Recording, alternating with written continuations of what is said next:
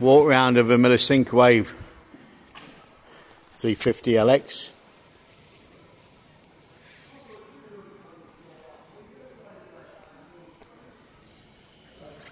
Water cooled.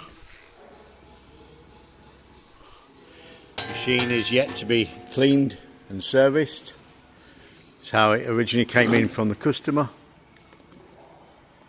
Well, look at all the manuals are still here manuals and documentation welding lenses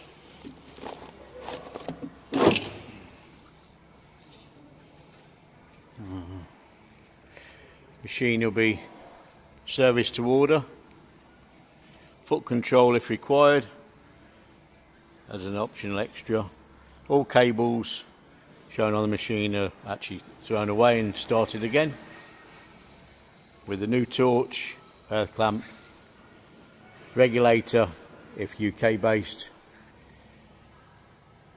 We do not supply regulators overseas unless by special arrangement. Machine will get serviced and cleaned and then shipped out with warranty. Thank you for looking.